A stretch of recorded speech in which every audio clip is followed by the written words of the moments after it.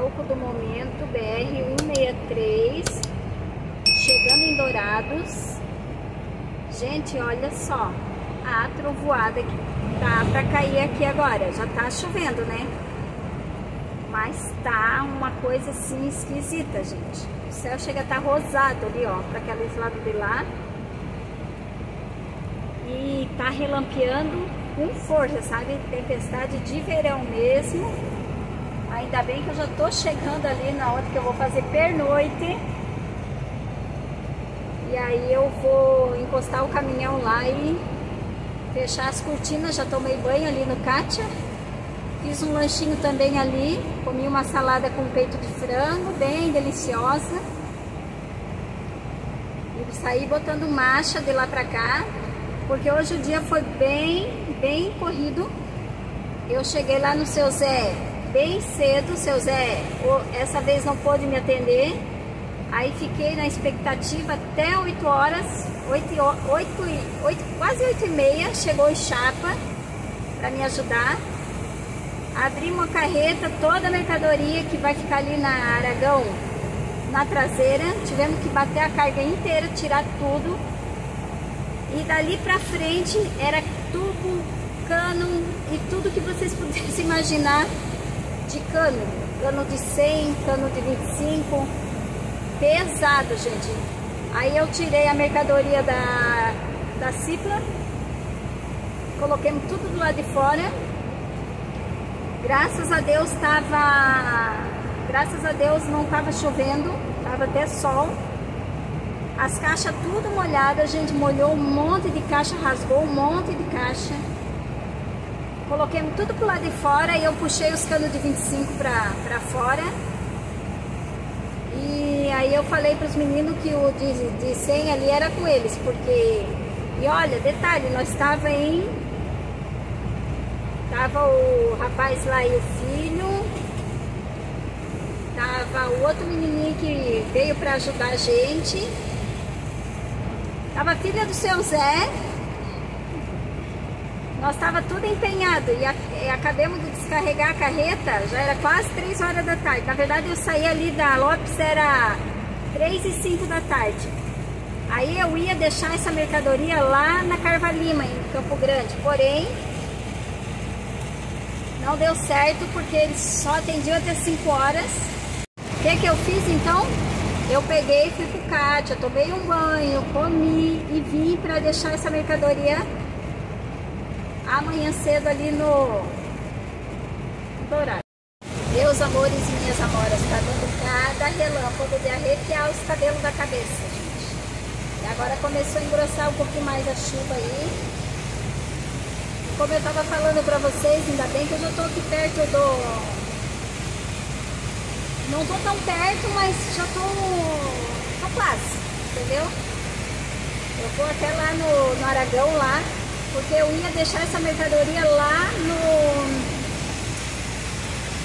Carva Lima que eu tava falando pra vocês. Aí como era só até 5 horas e não ia dar tempo, eu resolvi ir pro posto, tomar um banho, comer, vir, descarregar amanhã cedo aqui, daqui sai correndo lá pra lá para o Paraná, lá onde eu vou carregar um pouco de mercadoria, fazer uma coleta, né? Meus amores, não dá para falar por causa do barulho, eu vou deixar para depois conversar com vocês. Meus amores e minhas amoras, olha aí a chuvarada. Meu Deus, eu tô a 60 por hora, pessoal.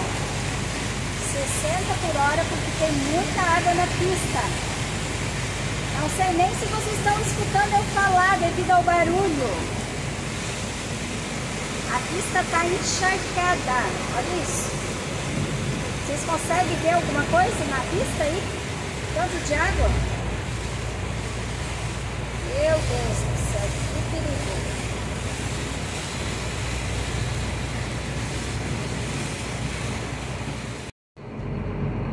Meus amores e minhas amoras, fui enquadrada agora ali.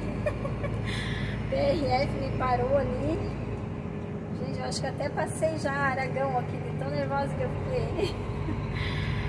Ai, ai, ai, daí os fiscal da fiscalização, né, é, cismaram com, a minha, com o meu manifesto.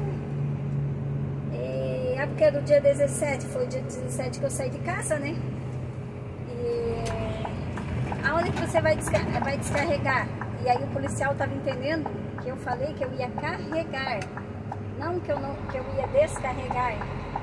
E aí eu já me embolei toda ali, e aí, gente do céu, vou entrar aqui porque Aragão é aí na frente. E aí eu falando pra ele, ele não entendendo, daí daqui a pouco ele, ah, você vai descarregar. Não, não, agora entendi. E aí, ah, o que, que você perdeu aí pra trás? Eu disse, eu não perdi nada. Aí foi que aconteceu que lá atrás, na rotatória, gente, uma escuridão, chuva, chuva. Aí, quando eu destapei na curva, um baita pneu na minha frente, gente. No meio do asfalto, não deu tempo de desviar, passei por cima do pneu. E aí alguém ligou para o PRF dizendo que eu estava arrastando alguma coisa. E disse, mas eu, né? O seu caminhão mesmo. Passar a placa tudo direitinho, né? Para eles, engraçado, né? Quando a gente tá quebrado na beira da pista, é difícil parar um carro para dar uma dica, né? Ajudar a gente, perguntar se a gente precisa de alguma coisa. Mas basta eles achar que a gente tá fazendo algo errado pra eles. Gente, olha só como é que tá isso aqui, essa entrada aqui tá de, de moer. Aí eu sei dizer que daí o inspetor veio, daí ele falou, não me viu dar com a mão lá atrás? Eu disse, não, eu vi o fiscal dar com a mão e não via o senhor me acenar. Ele então presta mais atenção. Gente, eu fiquei numa tremedeira porque com eles não dá pra brincar, né? Meu Deus. E aí, gente, eu fiquei assustada, né? Aí eu falei, quem sabe um dia a gente se encontra aí, né? Aí ele é, se você ser caminhoneira ainda, eu disse, é, quem sabe, né? A gente vai se encontrar de outra maneira. Quem sabe ainda a gente vai ser colega de trabalho, né? Mas ele não gostou muito da ideia, não. Ele disse assim, com esse novo governo, duvido. Eu falei, é verdade, com esse novo governo duvido e também com as regras, né? Gente. Então, meus amores, agora eu vou fechar as cortinas. Vou arrumar minha caminha que tá uma bagunça, ó. Pra descansar, porque amanhã é outro dia. Amanhã eu vou, vou descarregar aqui, com certeza, se Deus abençoar. Tenho certeza que sim, né? Porque eu sempre descarrego. E daqui eu vou voando baixo pra, lá para perto de Guaíra ali no Paraná. Numa cidade, Santo Antônio, alguma coisa assim, sabe? Para carregar e depois dali me sumo lá para Chapecó, Santa Catarina. Ver se eu consigo carregar na sexta ou no sábado de manhã. Aniversário da minha bebela, da Ruth, né, gente? Dia 25. É amanhã, né? Eu acho que é amanhã. É, não, é sábado, né? Sábado é amanhã. Gente, eu tô perdida no tempo. E não sei se eu vou conseguir chegar, mas enfim. O importante é que todo mundo vai lá festejar com a Tauana, com ela, com eles todos, né? E depois eu chego no domingo, chego na segunda e ainda tá tempo de comer um pedaço de bolo da, do aniversário da minha Belinha. Do príncipe passou, né? Não teve como guardar bolo, porque é muitos dias. Mas da Belinha vai dar. Então é isso, meus amores. Espero que vocês tenham gostado aí, que eu mostrei a, a trovoada e a chuvarada que eu peguei. Muita chuva mesmo, gente, um perigo. E ah, ali nas, na Federal não podia mostrar, né? Mas fui enquadrada ali, fiquei uma meia hora mais ou menos ali, os fiscais conversando comigo. E aí o, o fiscal falou que ele tinha uma ideia totalmente diferente assim dos caminhoneiros alguns anos atrás, que ele achava que era bem sucedido e tal, tal, tal. Mas depois, quando ele começou a trabalhar na pista, ele viu que não. Aí eu falei, não, mas eu sou bem sucedida, graças a Deus. Eu tenho vida, tenho saúde, tenho uma família linda, maravilhosa, tenho Deus, tenho uma casa, tenho um carro, tenho uma motinho. Eu tenho os meus, eu como bem, graças a Deus. Todo mundo lá em casa come bem, então eu sou muito bem sucedida. Mas é verdade, a gente vive na solidão, a gente vive... É, eu, eu sei que uma hora eu tô aqui, outra hora eu tô ali, e é assim, né, gente? Tem que dar os pulos e tem que conseguir. Mas é essa que, a profissão que eu escolhi, né?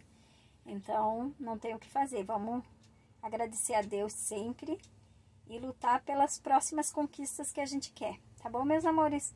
Fiquem todos com Deus. Um grande beijo a todos. Se inscrevam no canal, curtam, compartilhem e não esqueçam de ativar o sininho. Grande beijo a todos vocês. Fiquem todos com Deus e até o próximo vídeo.